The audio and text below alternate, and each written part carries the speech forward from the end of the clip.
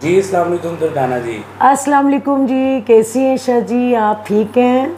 अल्लाह का शुक्र आप बताएँ आप कैसी हैं? जी अल्लाह का शुक्र मैं बिल्कुल ठीक हूँ अपने दोस्तों से डेली बातचीत करती हूँ बड़ा अच्छा लगता है वो मुझे सवाल भी करते हैं मेरी फ़िल्में मुझे बताते हैं कि जी आपकी फ़लाँ फ़िल्म इश्क न नचावे गली गली और मुझे बड़ा अच्छा लगता है कि लोग मुझे इतना प्यार करते हैं कि वो मुझे मेरी फ़िल्मों के बारे में बताते हैं तो मुझे बहुत अच्छा लगता है।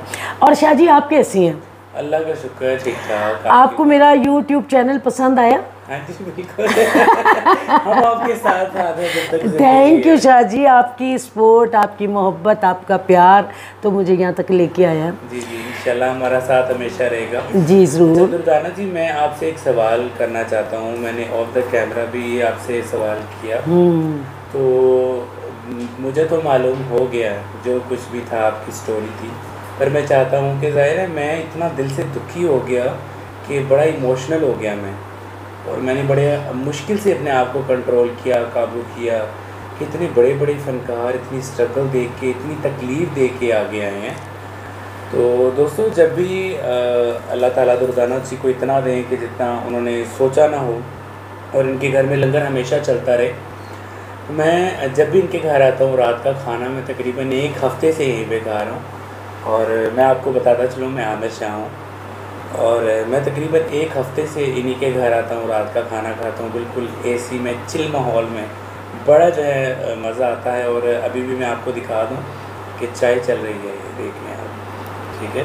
और मैं दुर्दाना जी से स्पेशल कहता हूँ कि चाय पियेंगे और दुर्दाना जी भी दो कप आपके लिए बनवाती स्पेशल पंजाबी च कहते हैं चाह तो महँगा हाँ जी दोस्तों ये आपकी मोहब्बत में हम लोग मज़ाक कर रहे थे कि आप भी खुश हो। जी जी बिल्कुल। तो मैंने दुर्दाना जी से एक सवाल किया। मैंने कहा दुर्दाना जी मुझे आप एक बात बताएँ कि आपके घर में जो भी आता है बिना खाना खाए नहीं जाता। इसकी क्या वजह है?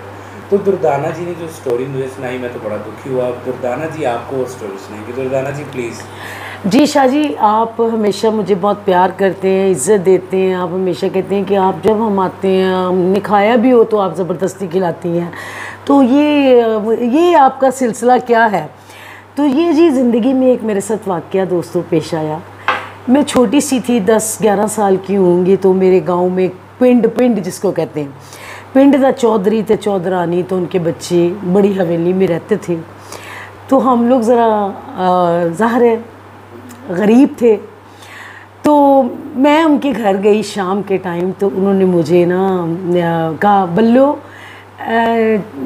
ਮੰਜੀਆਂ ਉੱਤੇ ਲੈ ਜਾ ਉੱਥੇ पानी ਦਾ ਤਰੌਂਕਾ ला दे जाके रोटियां लुआ के लिया मैंने सारे काम किए जब मैं खाने का टाइम आया बल्कि वो मिट्टी की हांडी थी जिसमें चने की दाल थी मुझे आज भी याद है तो मैं उठा के ऊपर भी रख के आई तो जब उन्होंने खाने का टाइम आया तो मुझे कहते बल्लो जा जाके खेड तो मैं बड़ी उदास हो गई बड़ी मायूस हो गई और आप देखिए मैंने कितना काम किया खाने के लिए तो मुझे खाना नहीं मिला तो मैं वापस आ गई।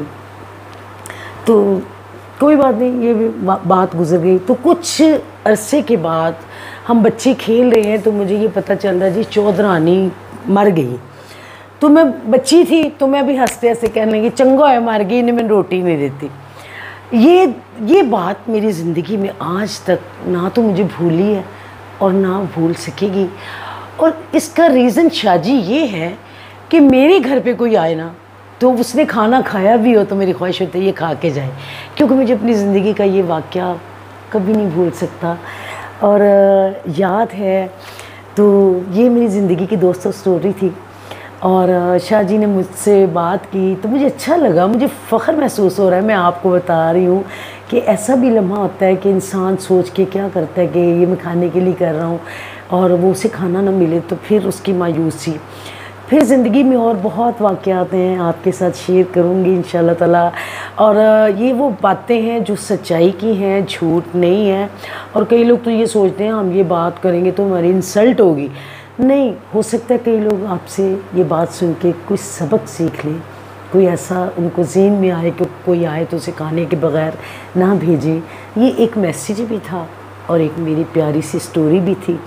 और आप लोगों के साथ शेयर की और इन ताला मैं आपके साथ हँसते, खेलते, रोते, रुलाते आती रहूँगी। आपको रोज़ अपनी ज़िंदगी की कोई ना कोई नई स्टोरी सुनाऊँगी। तो इन ताला आप लोगों से आज बात करके बहुत अच्छा लगा। अगर आपको मेरी ये कहानी अच्छी लगे तो ज़रा कमेंट कीजिएगा। व्यूज़ दीजिएगा मेरे चैनल को पसंद कीजिए सब्सक्राइब कीजिएगा। तो मैं आपकी बेहद मशहूर हूँ। थैंक यू दोस्तों आपकी Durdana Rahman. Thank you so much thank you Shahji thank you आपको बहुत थैंक यू